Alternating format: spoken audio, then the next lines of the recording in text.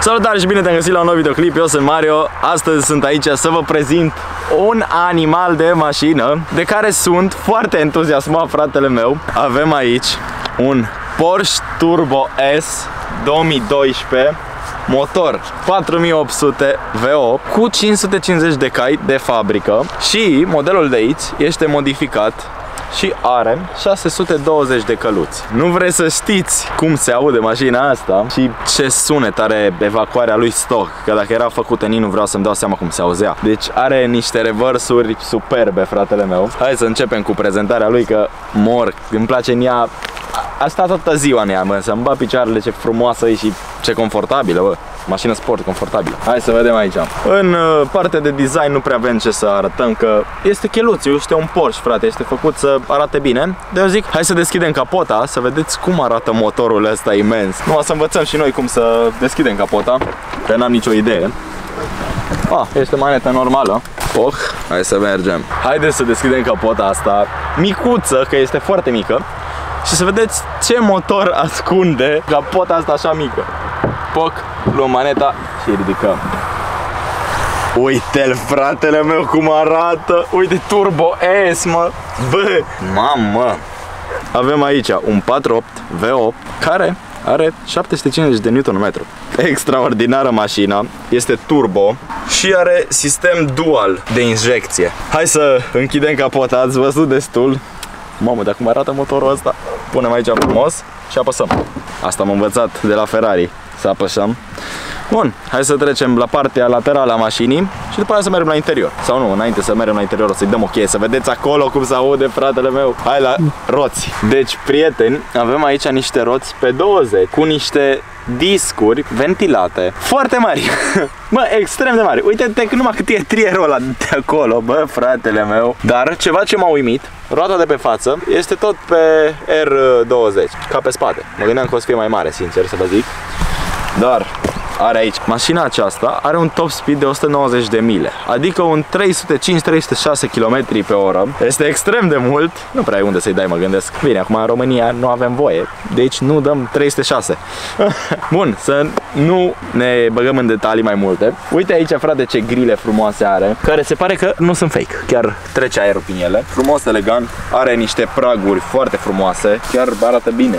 De asemenea, fratele meu, avem o lungime de 5 metri fără câțiva centimetri și o lățime de 2 metri, tot așa, fără câțiva centimetri și un gard de la sol de 11 cm. Asta nu știu să vă zic dacă 11 cm când e lăsată sau când stă normal pe confort, dar cred că când e pe confort, că nu pe sport, mă gândesc că o lasă mai mult. Dar, hai să trecem la spatele ăla, că acolo e superbitate. La spate avem așa, patru evacuări, în primul rând, Uite-le acolo cât de mari. Avem niște stopuri și faruri pe LED și un eleron care se ridică automat de pe un buton. Vai, doamne, deci așa, uite, uitați-vă ce spate are mașina, ce liniștită, zici că e o mașină de familie așa. Să-l vedeți când iese ăsta afară cum arată mașina asta, n-aveți idee. Avem și un portbagaj foarte mare de 445 de litri, este o mașină de familie, putem spune așa. Nu-l arătăm că este plin de bagaje, că proprietarul este pe fugă și n-am avut timp să le dăm jos, dar hai să mergem să-i dăm o cheie. Să auziți fratele meu cum se aude, că este bestiale să vă ridic și ele eleronul ăla, că e important. Hai. Acum aveți un mic uh, pov cum arată interiorul, dar lasă că vedeți mai multe după. Hai să pornim evacuarea direct.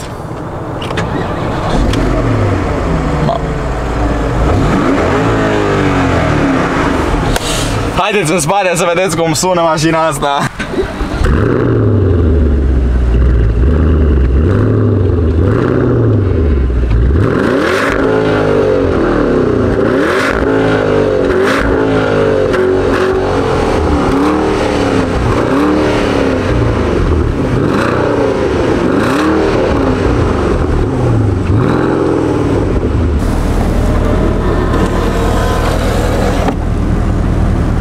Bine, prieteni, suntem în mașină, un pic călduț, așa că deschid asta. Hai să începem cu prezentarea, că este, este multe butoane, să zicem așa. Avem aici, în primul rând, o tabletă, care e opțională, o luăm așa, și o scoatem. O punem aici înapoi. În primul rând, avem niște leduri care, dacă observați, se mișcă după vocea mea și cât de tare urlu, vorbesc, Pe lângă acest minunat lucru, avem așa, un panou central extrem de mare cu multe luminițe, cu multe butonașe. Hai să vedem ce face fiecare buton. Avem aici primele butoane de aici sunt de la, de la sistemul de climatizare. Avem butonul de avarie, aici butonul de cheie, nu știu ce face mai exact. Dezaburire, aici avem tot ce ține de climatizarea mașinii.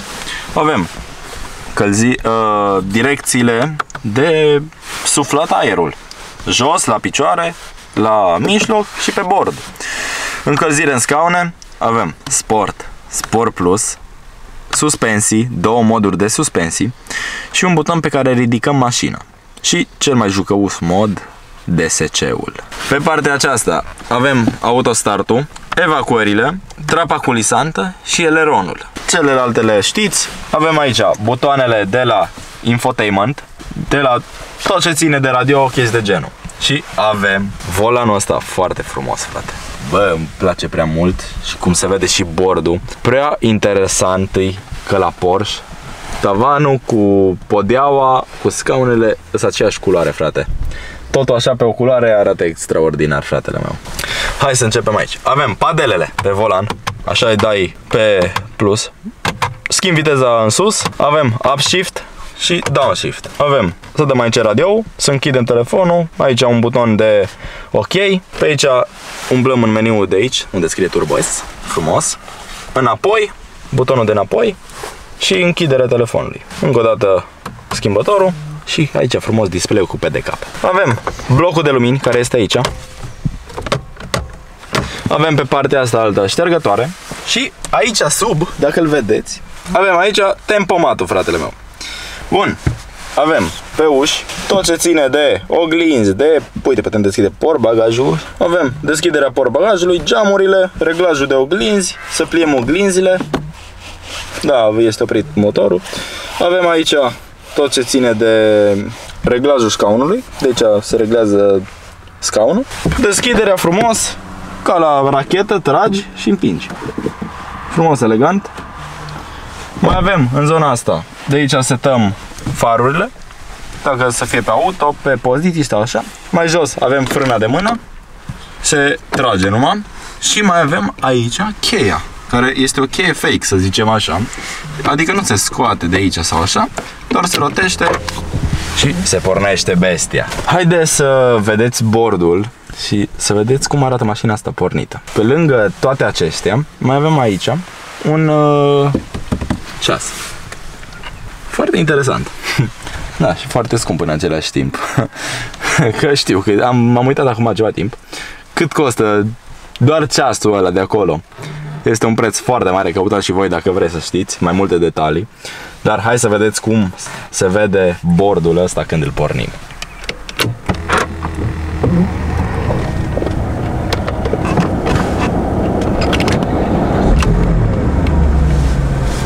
este un sunet extraordinar înăuntru. Dar în interiorul mașinii nu este așa multă gălăgie ca afară, fratele meu. Este chiar ok. Să trecem mai departe. Avem aceste LED-uri care arată foarte bine aici.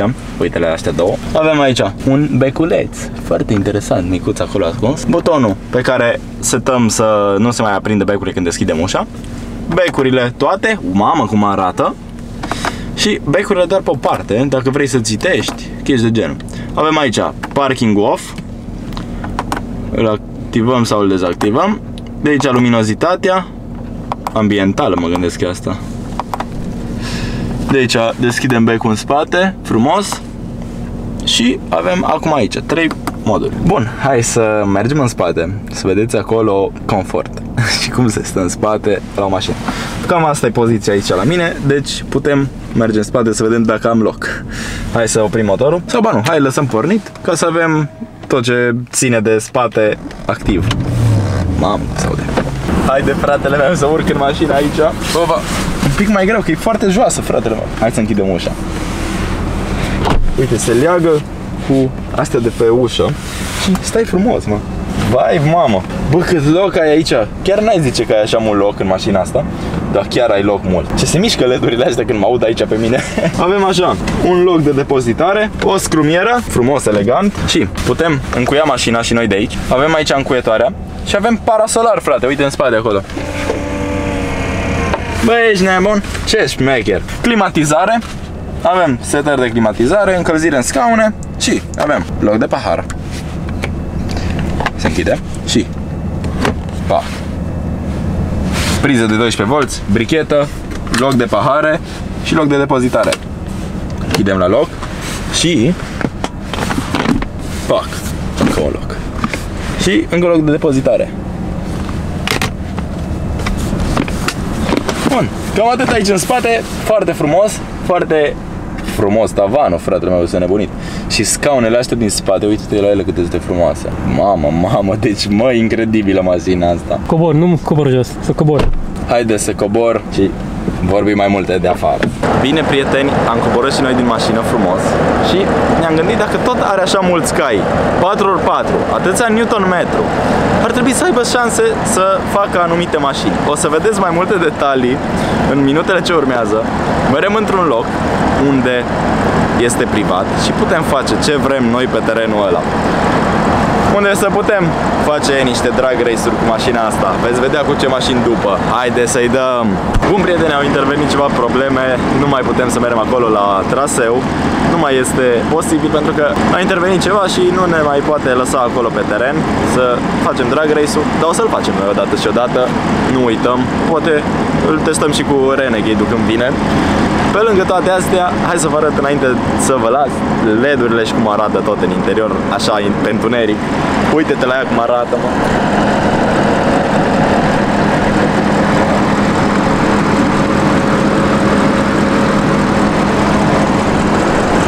Deci, fratele meu, uite-te aici. Uite cum arată, mă. Ai, doamne, cum arată. Uite și acolo, Turbo S luminat.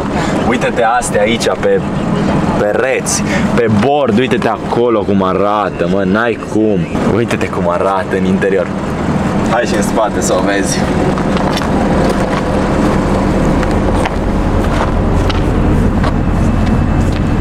Mam, altceva, altceva. Deci, mașina asta este altceva, fratele meu. Și nu uitați de share, de like, de subscribe. Până data viitoare, eu sunt Mario, fiți cu minți. Pa!